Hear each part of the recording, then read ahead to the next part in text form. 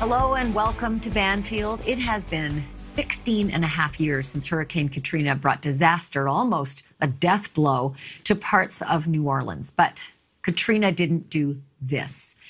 This came along after some of the ramshackle, mold infested health hazards that you're looking at right now. These are less than a decade old. They're supposed to be the solution, the anti Katrina affordable, attractive, eco friendly homesteads in the wasteland that had been the lower Ninth Ward. Brad Pitt even said so.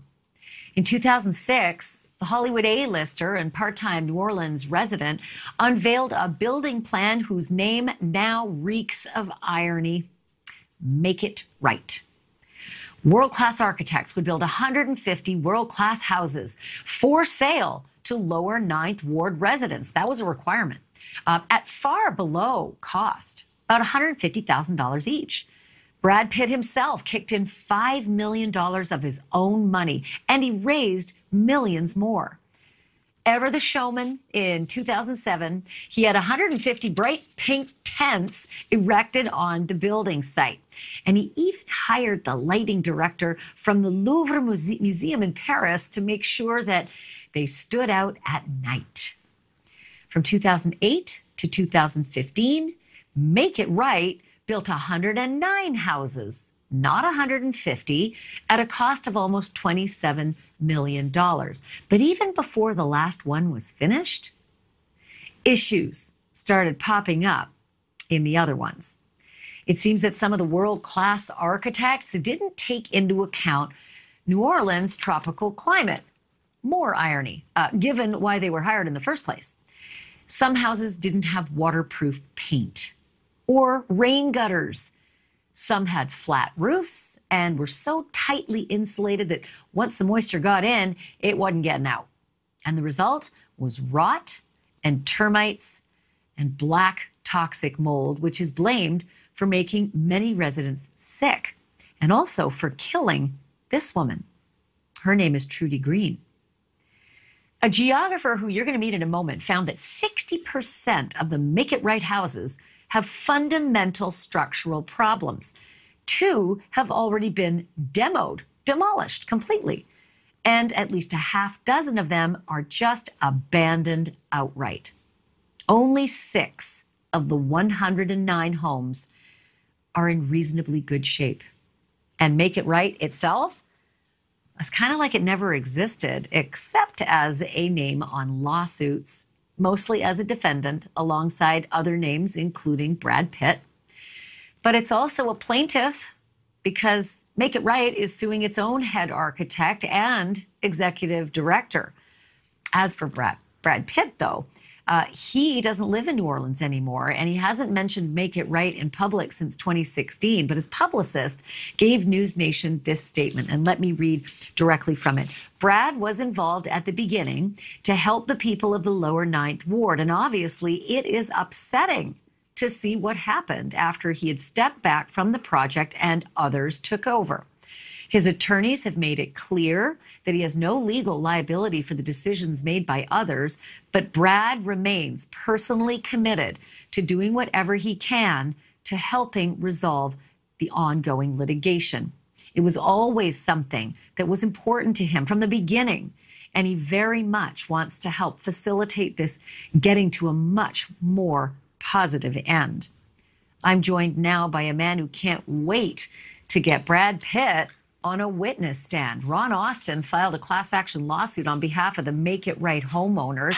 And as promised, we're also joined by Judith Keller. She's an urban geographer at the University of Illinois, and she was the one who studied these homes extensively and found all of those statistics. Welcome to both of you. Okay, so first and foremost, Ron, uh, tell me a little bit about your, your clients. Um, who are they? And how are they coming to terms with the asset that they bought and are stuck with? You mean the, the liability that they acquired? These are residents of the city of New Orleans, salt of the earth people who worked very hard for everything they've gotten. They believed in Brad Pitt, they believed in the dream he sold them, and they wanted very much to be a homeowner and to participate in the rebuilding of the neighborhood.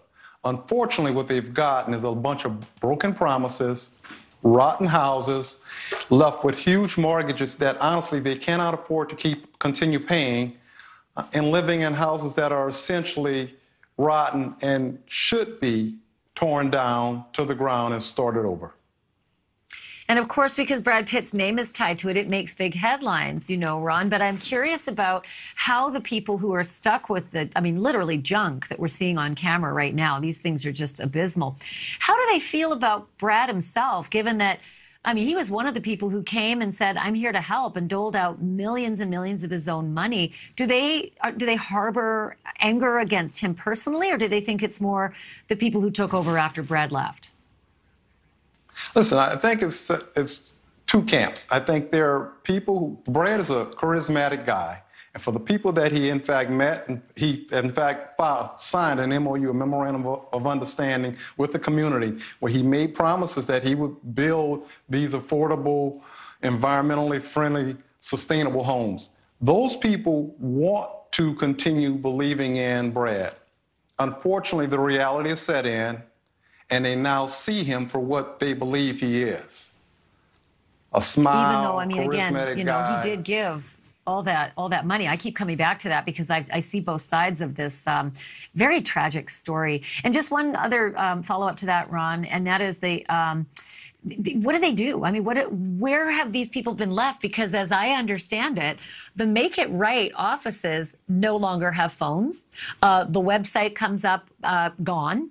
Uh, the staff has all left, and people witnessed uh, furniture being moved into storage. So it's almost as though there isn't even an entity to complain to anymore to say, look, I'm I'm literally dying in, in my house and, and I need you to fix what you what you you know messed up where are they turning to, these people? You know, unfortunately, there's nowhere to turn. Brad Pitt and the foundation have closed their offices, shut their websites down, and it's literally their containers sitting on an empty lot. And at one point, those containers were wide open. And so there's nowhere really to turn. We are fighting every day in court, attempting to get the foundation and officers and directors to come into court here in New Orleans and answer answer some questions as it relates to what went wrong and how are they planning on making it right. Okay, so Judith, I want you to jump in here too. I read your um, entire report, and I've got to be honest, I, I ran out of highlighter because I was so amazed with every one of these sort of factoids that you personally witnessed when you sort of, you know, you came, you know, as a case study to, to look at these these homes. What stood out the most to you? I think as uh, Ron already mentioned, you know, what stands out here is that those homes were not rented, but people invested in those homes. They invested in the dream that Brad Pitt had, and they, um, you know, have those loans and mortgages now hanging over their head while their homes are collapsing. And when I first visited, one of the homes was. Um, you know, it had a flat roof and the roof was basically coming in and the home has been demolished in the meantime. So really seeing homes like that with like massive um, mold infestation, termite infestation, um, structures that are just collapsing, like front porches falling off, um, and things like that. It's like I, I don't think it's just like one thing that I can mention.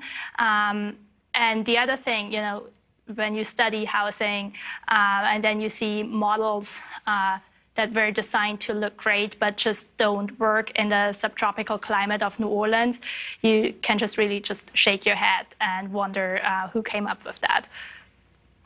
Yeah, I mean, I was, I was, I had to read it twice when I saw no rain gutters and flat roofs. So, Ron, that also makes me think. I've been through the housing process a few times, and there is always something called the inspection. And that's government, you know, that's regulated. So is there another entity that needs to um, cough up here for having, I'm presumably done inspections that were god awful? There, the city should have performed inspections. In most instances, I believe they did perform inspections. I believe that they had some sort of a deal worked out with the foundation but I don't necessarily want to cast blame or lose sight of what's important. Remember, Ashleigh, they raised $50 million to build these homes. And so, irrespective of whether or not something was done wrong, those $50 million, there should be plenty enough money to come back and make it right. So, I don't want to lose sight and, you know, cast doubt somewhere else or, or put some blame somewhere else. What we have here is an epic failure of a development by, by some well known people who raised $50 million on the back of some very hardworking citizens, and they deserve to have their homes properly built. It's no reason in the world I should be on this TV with you tonight in this interview when they raised $50 million, built 106 homes, 109 homes, and just about every one of them need to be torn down and started over.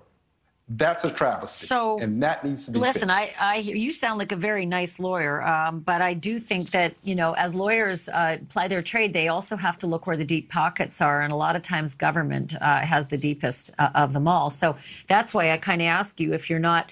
Uh, pointing the finger at the people who could have prevented this from the get go. The, the inspectors could have said, hold this development. These things are going to kill people. Like, that's literally what's being alleged here is that one of these residents died because of the mold. So I just wonder if if the taxpayers um, of Louisiana might not be on the hook as well as perhaps the vestiges of Make It Right and maybe Brad Pitt. Look, maybe that's a day for the judge or jury. I believe, I firmly believe the foundation and officers and directors are solely and squarely responsible for these ill-built homes. Um, while the inspectors can, could have done one or two things, these homes from jump were just poorly built. They had evidence that these homes were poor, poorly built as far back as 2010, 2011, and 2012. They chose not to properly fix these homes and kept on building and kept on building and, and kept Ron, on it, building and selling these old in, streams. In some of the um, uh, the documents, is it true that some of these homeowners were asked to sign non-disclosure agreements if they wanted repairs done? Meaning, I'm not going to fix what you know is broken in your house until you promise never to say peeps about what's going on here. Is that really true? Absolutely. And unfortunately, some of the people to this day are still afraid to speak because they were forced to and or coerced to sign NDAs in an attempt to get their homes fixed. They were taken advantage I mean, of. Crazy. Yeah, I mean, a lot of these It's- people it's were beyond. already struggling it's with sad, so many actually. things, right? Victimized by Katrina, uh, lost everything. Okay, so Judith, I, I understand Louisiana to have this, you know, lemon law. Basically, if you if you buy a a new home, um, you should have some recourse if it's a lemon. How is it that the lemon law isn't coming in to protect these people right off the jump? Why do they have to sue? Well, I guess because here we have a nonprofit housing developer. This is not a, you know, public housing project or something, but it was the nonprofit, and so the state of Louisiana or the city was not directly responsible. And um, while I see that there's some fault also with the city because um, the people who were supposed to keep those homes safe and expect them uh, did not, um, I think I, I agree with Ron that we have to look at what Make It Right did and didn't do. And the whole thing is just so incredibly sad. I guess the last question I have, Judith, is like, what, what does that say about private nonprofits who want to come in after disaster and, and help? I mean, I don't think anybody had a, a mean bone in their body here. Um, there were desperate people who, in desperate times, needed desperate help, and along came this project. Badly done, yes, perhaps, but the intention. In the future, does that mean people should hold off and governments should hold off allowing these kinds of nonprofit groups from getting involved in, in an urban renewal? Well, I think uh, the case of Make It Right is very distinct. And so I would be very careful to just generalize what was happening in the lower Ninth Ward in New Orleans to other nonprofit housing developments. Um, and on the other hand, I agree with you that there are some lessons that can be learned. And one of them is that, you know, I believe that housing is a human right and that um, we have a responsibility to provide access to adequate and affordable housing and it cannot just be nonprofit housing developers that take care of that, but there's also a responsibility of local governments and uh, the local state to step in and provide housing where there's a need for housing. And then also, um, that's another point I think that we can take away here is that we have to look at the intersection of health and housing. As you pointed out, people are getting sick um, from living in those homes. There's like one woman woman who has sadly passed away. And so, you know, looking at that intersection, what we can do to build healthy homes and healthy communities and ensure that people can live happy lives and, um, Yeah. you know, are physically and mentally healthy. Um, and I think that's another and also takeaway take to from task, Make It Right. uh, yeah, take take to task those who do something that uh, takes away from all of that. Ron Austin and Judith Keller, thank you for being on tonight. I wish you both the best. And yeah, go ahead quickly, Ron. Ashleigh? No, what I want to say is this. There were a number of developers who did come into the city of New Orleans post-Katrina and did build very successful communities. They just didn't have the star power behind them.